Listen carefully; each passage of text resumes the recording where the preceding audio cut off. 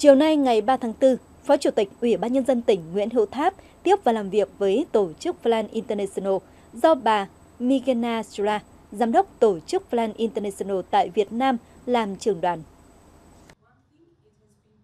Bà Migena Sula, Giám đốc Tổ chức Plan International tại Việt Nam, bày tỏ vui mừng và cảm ơn sự đón tiếp chân thành của Ủy ban Nhân dân tỉnh Con Tum đối với đoàn.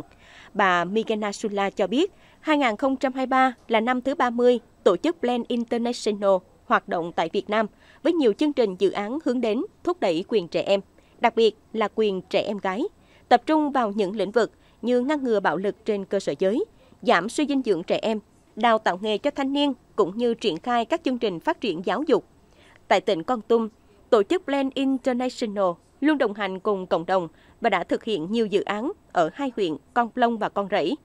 Bà Migena Sula bày tỏ mong muốn thời gian tới, Ủy ban Nhân dân tỉnh Con Tum và chính quyền các cấp tiếp tục tạo điều kiện để tổ chức triển khai tốt hơn nữa nhiệm vụ vì cộng đồng giai đoạn 2022-2026, đồng thời cam kết phía tổ chức sẽ luôn đồng hành, hỗ trợ tích cực cho tỉnh Con Tum trên tất cả lĩnh vực y tế, giáo dục.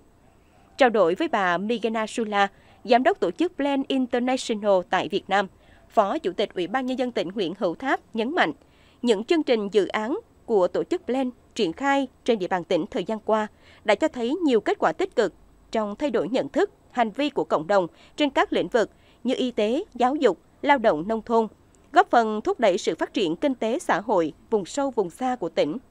Phó Chủ tịch Ủy ban Nhân dân tỉnh đề nghị thời gian tới, tổ chức Plan International tại Việt Nam tiếp tục quan tâm, hỗ trợ nguồn lực nhằm góp phần cải thiện, nâng cao đời sống trẻ em vùng dân tộc thiểu số ở tỉnh Con Tum.